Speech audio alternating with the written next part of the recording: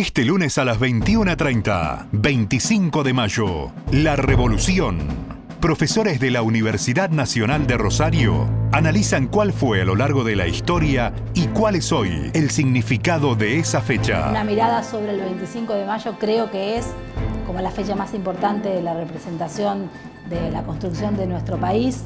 Lo que tenemos aquí y, en la conformación de esta fecha fundacional del 25 de mayo es lo que yo llamo una guerra de cronología. Controlaban eh, las rutas del monopolio diseñado por la corona justamente en el último cuarto del siglo XVIII. Imponer el significado que ellos creen que hay que otorgarle al 25 de mayo de 1810.